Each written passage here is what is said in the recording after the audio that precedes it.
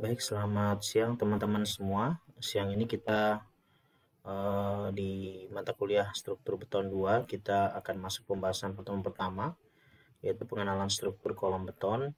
Sebelumnya teman-teman untuk uh, edukasi kita menambah semangat di channel kami di Engineering Study silahkan boleh visit, uh, boleh mereview, like, and subscribe dengan saya Pak Agianata Tumunte uh, di Engineering Study Channel Civil Engineering.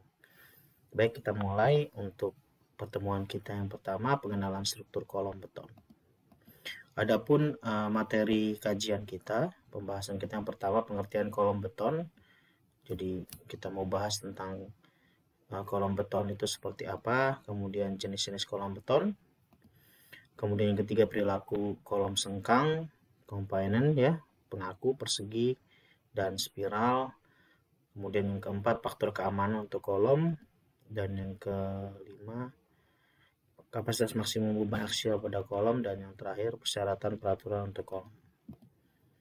Pengertian kolom beton yang pertama, kolom adalah komponen struktur vertikal yang menerima dan menyalurkan gaya tekan aksial bersamaan atau tidak dengan gaya momennya. Jadi bagaimana kolom vertikal akan diberikan uh, gaya aksial yang akan disalurkan sepanjang batang kolom bersamaan ya, tidak dengan gaya momennya. Dikarenakan resiko runtuhan kolom lebih berbahaya dibandingkan struktur lantai, baik plat atau balok dari pola keruntuhannya. Bayangkan kalau misalkan kita punya gedung, kolom runtuh duluan, uh, maka uh, seluruh bangunan kita akan mengalami keruntuhan. Ya, karena kolom lebih banyak memikul bagian struktur dibanding balok ya sebagai komponen penyangga sehingga bila kolom runtuh akan lebih banyak bagian dari bangunan yang hancur dibandingkan dengan hanya balok saja. Oleh karena itu di dalam desain kolom harus uh, mengandung dasar filosofi perencanaan kolom yaitu strong column weak beam. Jadi ini yang kita akan sering ketemu nanti bahwa bagaimana dalam perencanaan kita harus menjaga kekuatan dari kolom kita dibandingkan dengan balok kita. Nah, kalau saya lihat di sini ilustrasinya saya punya kolom teman-teman ya. Ada ada ada ada uh, join nanti antara balok dengan kolom pertemuan ya, seperti ini. Beban-beban dari plat dan balok akan ditransfer di kolom dalam bentuk beban aksial ya di akan ditransfer di kolom ya berikut dengan pondasi di bawah ya. Transfer akan beban dari kolom akan transfer ke uh, pondasi uh, ya. Sehingga akan ada daya dukung pondasi yang akan menahan daripada gaya, aksial beban yang ada. Nah di dalam kolom sendiri ada tulangan pengekang atau ties ya. Menahan tekuk uh, tulangan vertikal ya, di mana di sini nanti akan dibuat apa namanya prinsipnya bahwa semakin besar semakin tinggi FC aksen maka semakin tinggi kekuatan kolomnya. Karena aksial maka dibutuhkan kekuatan daripada tekang. Jadi bukan bukan bukan tulangannya ya bukan tariknya tapi lebih ke tekannya. Baja tulang vertikal menambahkan kekuatan dari kolom atau memberikan bentukan juga ya sebagai apa namanya pembentuk daripada kolom itu sendiri Beton bertulang dikategorikan sebagai kolom jika yang pertama dikatakan bahwa L per B lebih besar dari 3 ya. Jadi antara panjang kolom dibanding dengan lebarnya itu tidak atau lebih dari besar sama dengan 3 ya. Nah, jika LB kurang dari 3 atau panjang kolom dibanding dengan lebar panjang kolom kurang 3 maka LM tersebut dinamakan pedestal atau uh, kolom pendek ya Kemudian kita masuk yang kedua yaitu jenis-jenis kolom beton. Ya, berdasarkan bentuk dan komposisi material yang umum digunakan, maka kolom bertulang dapat dibagi dalam beberapa tipe. Yang pertama yaitu kolom empat persegi dengan tulangan longitudinal memanjang dan tulangan pengikat lateral yaitu sengkang. Ya, jadi eh, apa namanya tulangan longitudinal memanjang yang akan diikat oleh tulangan lateral yaitu sengkang.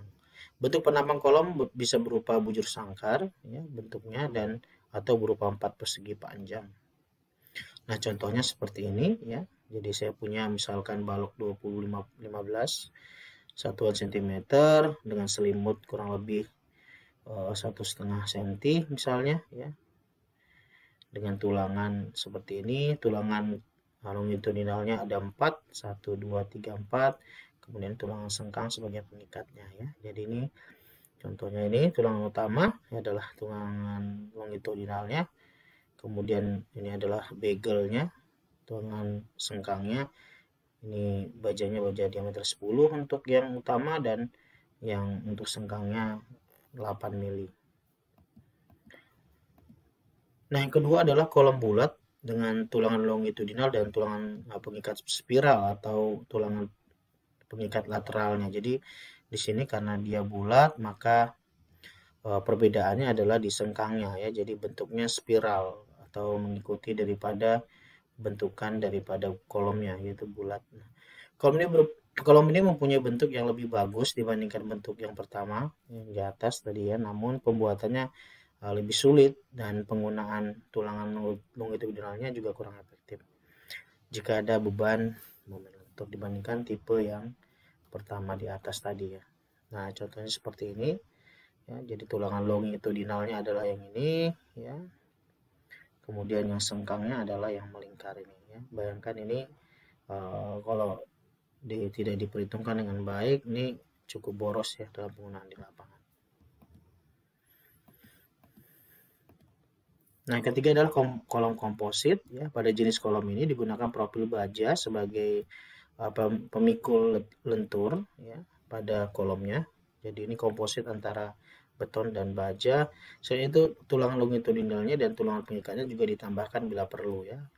Tergantung daripada uh, desain keperluannya ya. Bentuk ini biasa digunakan biasa digunakan apabila jika hanya menggunakan kolom beton kolom bertulang biasa diper, diperoleh ukuran yang sangat besar karena bebannya cukup besar. Jadi di sisi lain diharapkan ukuran kolom tidak terlalu besar. Jadi dengan ada penambahan daripada baja profil ini diharapkan dimensi yang dihasilkan juga tidak terlalu besar ya seperti ini ini hub beam atau WF beamnya kemudian ada tulangan longitudinalnya kemudian ada sengkangnya terus kemudian ada selimutnya berikut juga dengan pipa beton ya atau reinforcement konkret gitu ya. Ini sama ini sengkangnya misalkan gitu ada longitudinal juga di tengah. Sorry ini ada pipa betonnya. Di sini ya ini pipa struktur beton. Harusnya juga bisa di sini yang uh, pipa baja tapi mungkin terlalu mahal. Berdasarkan kelangsingannya kemudian kita lihat lagi jenisnya. Ini berdasarkan kolom dibagi atas ada dua kolom pendek dan kolom langsingnya kolom pendek itu di mana masalah tekuk tidak perlu menjadi perhatian dalam rencana kolom karena pengaruhnya cukup kecil. Jadi karena dia kolom pendek karena dia L nya juga pendek maka faktor tekuk ya, tidak menjadi perhatian ya. Atau bisa diabaikan untuk untuk kolom pendek. Sedangkan kolom langsing di mana masalah tekuk perlu diperhatikan dan merencanakan sulit dalam merencanakan kolom. Kalau langsing sangat-sangat perlu untuk uh, uh, kita per, perhitungkan ya untuk masalah tekuknya karena dia langsing kemudian kita masuk di perilaku kolom persegi dan spiral ya tulangan sengkang ya.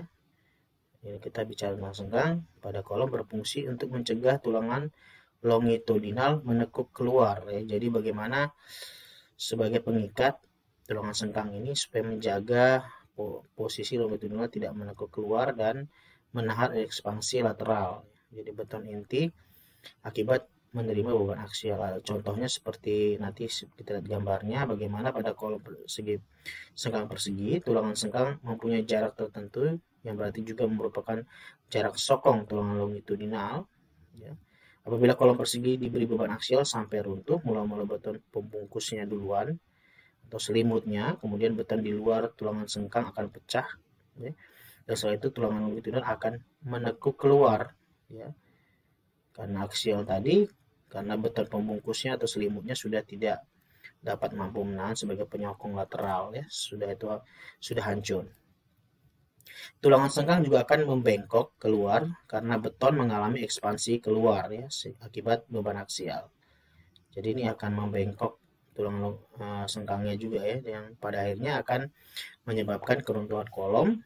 Kejadian ini sering kali terjadi tiba-tiba pada struktur kolom persegi. Dan ini yang perlu kita waspadai uh, kolom kita harus mampu untuk kita menahan daripada beban aksial yang diberikan.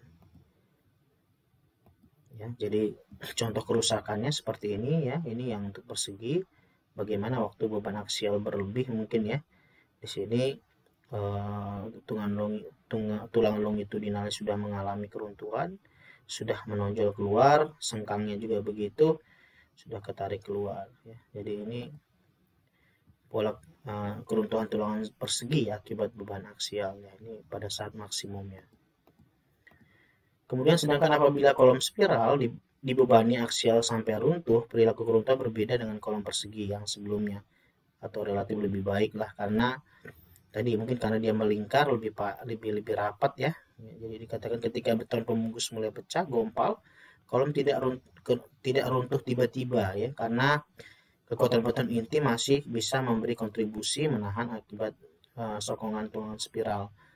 Ya, jadi selanjutnya kolom akan berdeformasi ya lebih lanjut sampai tulangan longitudinal adalah dan kolom runtuh. Nah, gompal pada pembungkus beton atau selimut beton ini sebagai peringatan akan terjadi keruntuhan kolom apabila beban terus bertambah. Jadi eh, indikasi pertama untuk melihat keruntuhan eh, kita lihat di area selimut betonnya ya. Walaupun beton ini masih dapat sedikit memikul beban lagi dan sampai akhirnya runtuh ya. Walaupun beton dalam, beton intinya mungkin masih mampu untuk menahan daripada beban aksialnya. Hal ini menjadi kolom spiral lebih datar, ya, runtuh bertahap artinya dibanding dengan kolom persegi. Jadi kalau kita lihat di sini uh, contohnya ya seperti ini ya. Bagaimana sudah terjadi keruntuhan di area luar ya selimutnya uh, sengkangnya juga masih uh, rapat cuma di sini yang longitudinal sudah mengalami bengkok bengkok ya atau sudah menekuk keluar. Ini keruntuhan siang spiral. Jadi mungkin ini uh, rapat kerapatan daripada sengkangnya juga sangat berpengaruh. Sehingga beton intinya juga cukup kuat ya masih menahan. Nah, kalau kita lihat perilaku sengkang, persegi dan spiral, kalau kita lihat di sini contohnya ya antara eh, apa? Eh, keuntungan persegi dan spiral. Nah, spiral ini sangat uh, apa namanya uh, secara aksial shorteningnya terhadap beban ya itu kalau untuk persegi dia langsung ya. Jadi kalau misalnya ada kekuatan diberi beban terus nanti akan sorry akan runtuh langsung. Sedangkan untuk spiral itu masih pada saat diberikan beban maksimum ya, ya itu masih karena mungkin tulangan juga banyak ya jadi akan masih mengalami perkuatan kembali seperti ini dan kemudian akan putus di sini ya. jadi ini sangat-sangat uh, uh, baik sekali untuk kekuatan spiralnya Nah, di sini juga untuk perilaku sengkang, kita lihat di sini kekuatan selimut beton, rumusnya ya, teman-teman. PS sama dengan 0,85 FC aksen, AG dikurang AC. AG itu adalah luas penampang betonnya sedangkan AC luas beton intinya ya. Jadi ini uh, sebagai perkenalan rumusnya aja ya buat kita. Kekuatan tulangan spiral adalah uh, TS sama dengan 2 PS dikali AC dikali FY di mana PS adalah presentasi tulangan spiralnya. Nah, ini yang selimut ini tulangan spiral. Sedangkan presentasi tulangan spiral minimum menurut ACI 10.6 uh, rumusnya ini ya PS sama dengan 0,45 dikali dengan AG per AC min 1 FC aksen per FY jadi uh, eh, AG tadi luas penampang betonnya AC luas inti betonnya ya.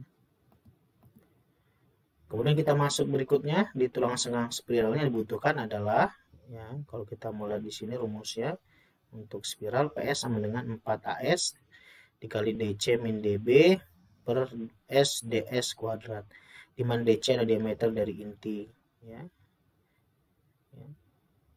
Diameter luar spiralnya ya, kemudian AS itu sama dengan luas penampang tulangan spiralnya. Kemudian DB sama diameter tulangan spiralnya ya. Jadi eh, kita bisa menentukan nih berapa uh, kebutuhan daripada atau ROS ROS-nya ya. Jadi kebutuhan dari tulangan daripada spiralnya ya. Jadi kalau misalnya kita gambarnya seperti ini. Ini B ini uh, ini dia hanya ini D-nya kemudian ini yang diameternya dB-nya ini jarak spiralnya nah kemudian kita masuk di faktor keamanan untuk kolom inilah faktor keamanan V untuk di desain kolom jauh lebih kecil dibandingkan faktor keamanan balok lenturan geser ya di bentuk balok adalah 0,9 untuk lentur 0,8 sorry 0,9 untuk lentur dan 0,85 untuk geser sedangkan untuk keamanan untuk kolom sengkang persegi yaitu adalah kekuatan geser dalam penopangnya ya dan 0,7 dan untuk kolom sengkang spiral 0,75 jadi uh, jauh lebih kecil. Nah ini uh, apa namanya uh, perbandingan antara SNI dan ACI saja untuk faktor keamanan ya. Ini bersifat tipe pembebanan SNI 0,8 0,9 untuk lentur tanpa beban aksial. Pada beton bertulang 0,099 aksial tarik aksialnya dengan atau tanpa lentur. Kemudian 0,7 0,75 perbedaannya ya.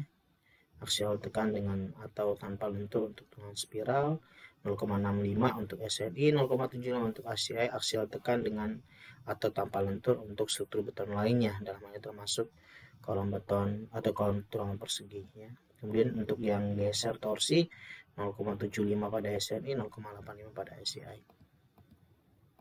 Nah, kemudian kita masuk di kapasitas maksimum beban aksial pada kolom. Ya, apabila kolom diberi beban aksial konsentrik, regangan longitudinalnya akan terjadi akibat beban aksial tersebut baik pada beton maupun pada baja. Ya. Hal terjadi karena beton dan baja sudah terikat menjadi satu kesatuan, ya, sudah monolit ya. Kondisi di atas dapat diterangkan dengan adanya di bawah ini. Jadi kalau misalkan kita lihat uh, strainnya uh, tegangan pada kolomnya ya misalkan ada P kolom di sini ada besinya kemudian di sini ada uh, apa namanya eksentrisitasnya ya. Kemudian di sini load resisten by konkretnya uh, PC strainnya bebannya terhadap uh, apa namanya beban maksimumnya ya itu akan seperti ini ya PC sama dengan FC dikali AC ya, jadi FC itu kuat tekannya dikali dengan uh, luas penampangnya ya. Atau FC sama dengan PC dibagi AC ya ini PC maksimum sama dengan uh, si FC AC ya konkret kuat tekannya ya. kemudian untuk yang kalau bajanya akan seperti ini ya kecenderungannya ya PS max-nya itu sama dengan FY dikali AST ya. jadi uh, kuat lelehnya dikali dengan penampangnya terus penampangnya nah total uh, load resistant by kolom kalau kita lihat antara baja dan konkret ya nah, cenderung di sini bahwa konkret lebih tinggi ya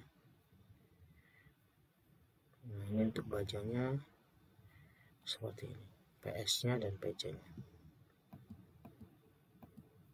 Nah, tegangan terjadi pada kom terdiri dari tegangan beton dan baja, di mana total beban yang terjadi PN0 adalah penjumlahan dari G yang terjadi pada beton dan baja. Nah, PC sama dengan FC aksen dikali AC dan FS EPS oleh sama dengan FY dikali AS. Nah, beton akan hancur apabila beban aksial mengalami atau mencapai beban maksimum ya atau kapasitas momen kritis kolom dapat menerima beban adalah rumusnya ini P0 tadi P0 adalah di mana beban yang terjadi sama dengan 0,85 FC aksen AG min AST ditambah FY kali AST ya. Itu rumusnya. Untuk kolom spiral ya.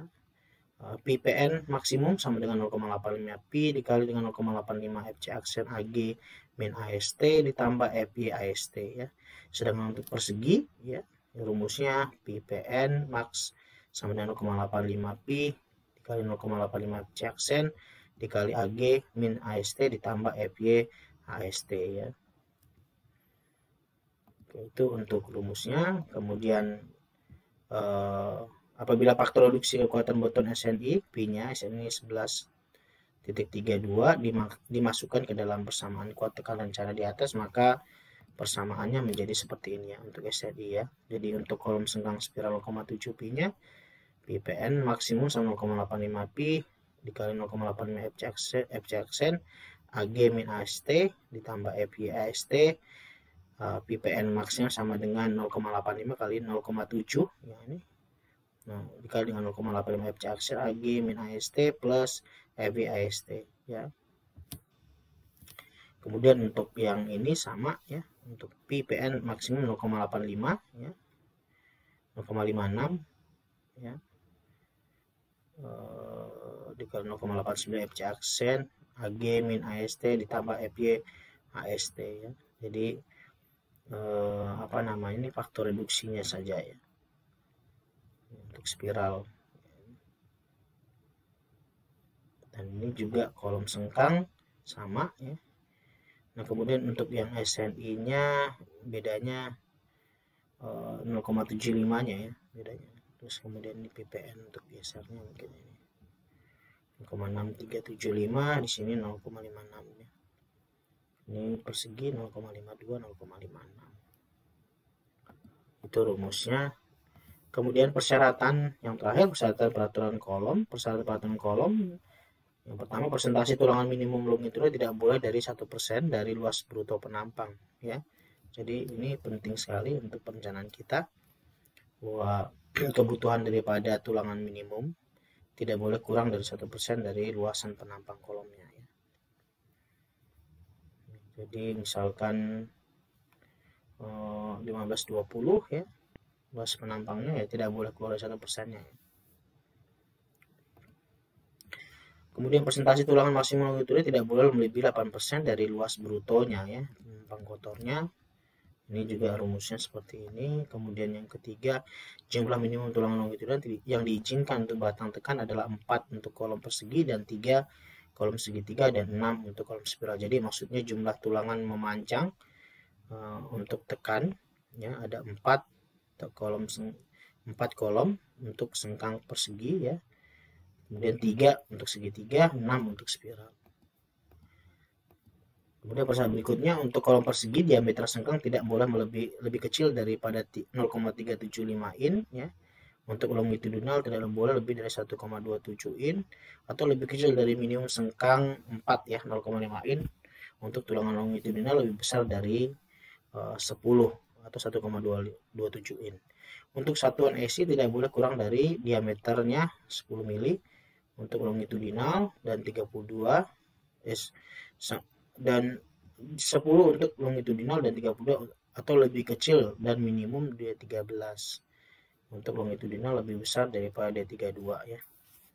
Jadi kita lihat di perhitungan kita akan munculkan lagi ya. Dan jarak sengkang spasi tidak boleh melebihi 16 kali diameter longitudinal 45 kali. Nanti syarat perhitungan kita nanti setiap kali perhitungan nanti kita akan munculkan ya. 48 kali diameter sengkang atau dimensi lateral terkecil dari kolom. Jarak tulangan tidak boleh melebihi dari 6 inch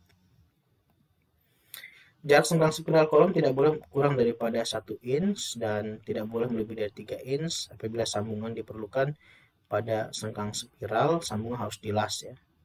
Atau dengan lapping tulangan dengan kawat ya. Oh, perlapnya ya dengan dengan bendrat gitu ya di kawat ya. Sepanjang 48 kali diameter sengkang atau 12 in. Baik, terima kasih untuk ini penjelasan untuk persyaratan eh, dan untuk eh, penjelasannya eh, berikut. Terima kasih sekian untuk penjelasan daripada kolomnya. Ya jadi yang perlu kita perhatikan bahwa poinnya adalah bahwa